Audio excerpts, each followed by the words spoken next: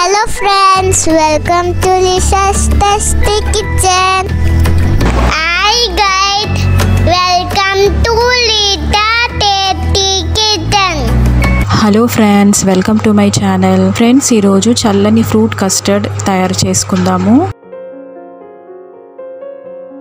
ముందుగా మనం దీనికి ఒక లీటర్ పాలను బాయిల్ చేసుకోవాలి. పాలు వేడయ్యే లోపల మనము కస్టర్డ్ని కలిపి పెట్టుకోవాలి ఒక బౌల్లో రెండు స్పూన్ల కస్టర్డ్ పౌడర్ వేసుకొని ఒక చిన్న గ్లాసు నీళ్ళు లేదా పాలు వేసుకొని ఉండలు లేకుండా కలుపుకోవాలి.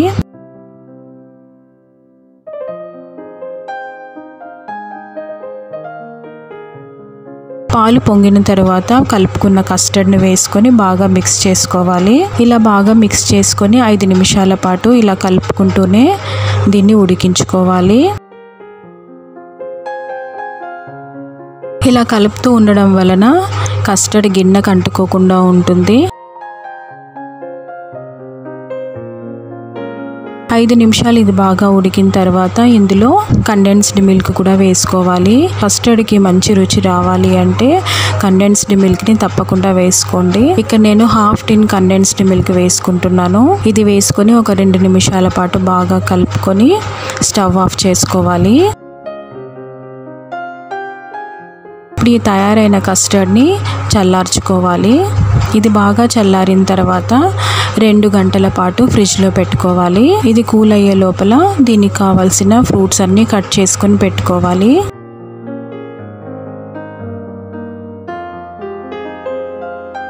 కస్టర్డ్ని ఫ్రిడ్జ్లో నుంచి తీసిన తర్వాత కొంచెం గట్టిగా ఉండలుగా ఉంటుంది కాబట్టి దీన్ని బీటర్తో కానీ లేదంటే ఇలా విస్కర్తో కానీ బాగా కలుపుకోవాలి.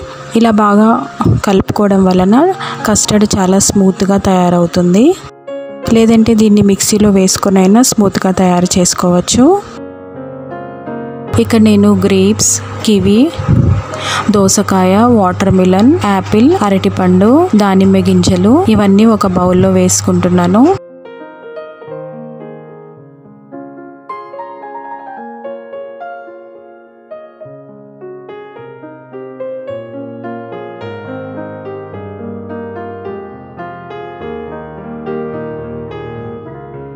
ఇలా ఫ్రూట్స్ అన్ని బౌల్లో వేసుకున్న తర్వాత సర్వ్ చేసుకోవడానికి ముందు స్మూత్గా తయారైన కస్టర్డ్ని ఈ ఫ్రూట్స్లో కలుపుకుందాము.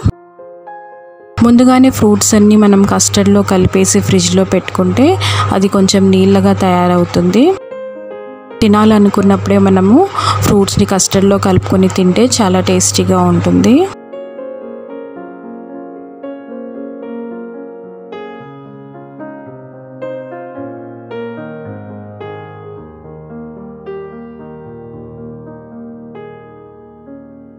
ఇలా పైన దానిమ్మ గింజలతో డెకరేట్ చేసుకుని సర్వ్ చేయండి. అంతే చల్లని ఫ్రూట్ కస్టర్డ్ రెడీ అయిపోయింది. How you guys enjoyed the video don't forget to subscribe like and share